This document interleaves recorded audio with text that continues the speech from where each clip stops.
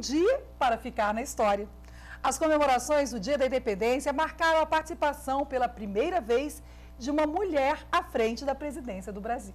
O verde e amarelo tomaram conta da capital. Todo o desfile foi transmitido ao vivo pela TV NBR.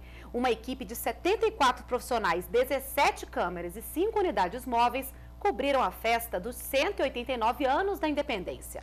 É, um público de 40 mil pessoas acompanhou o percurso de 2 quilômetros, por onde desfilaram estudantes e militares. A esplanada ficou lotada e nem mesmo o sol forte e o tempo seco impediram as pessoas de saírem de casa para assistir o desfile. Ao repórter cinematográfico Cosme Nunes e o jornalista Daniela Almeida registraram os primeiros momentos da grande festa de 7 de setembro na capital federal.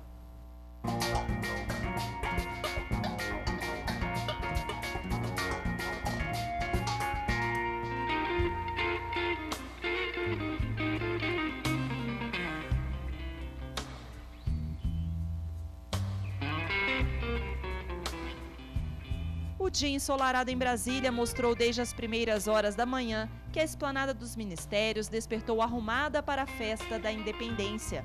No céu colorido pelos balões, prédios e postes enfeitados, o verde e o amarelo se destacaram. E o sentimento de patriotismo moveu também quem chegou cedo para participar do 7 de setembro. Eu sou muito patriota, gosto, amo de verdade esse, essa nossa independência. A gente tem que tem que trazer essa bandeira no peito.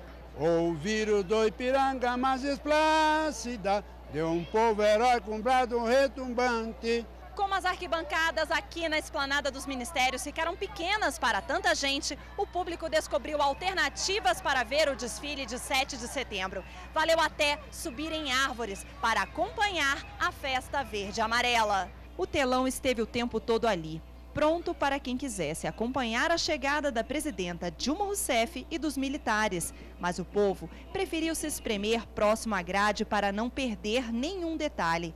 Cada um, a seu modo, fez o registro que vai ficar para a história.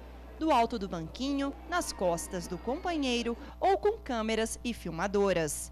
Uma está gravando e uma está tirando foto, para tirar foto e filmar ao mesmo tempo. Vale então até um banquinho para conseguir ver? Vale, com certeza, vale.